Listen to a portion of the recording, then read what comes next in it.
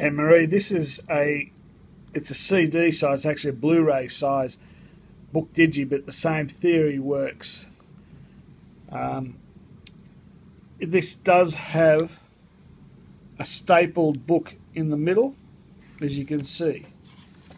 As here, it does though have that in in the in the spine. So I personally don't think this one looks good. And one of the other alternatives, or sorry, alternatives, one of the other things that happen is the, the book can come out of the staples because it's just stapled in to a bit in the middle. And you can't, you can't glue that down and staple it down, the, have it stapled or glued into the center.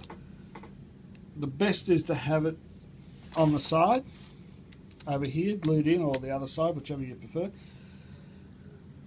Or to have some sort of pocket, but that can kind of defeat the purpose of it. Thank you.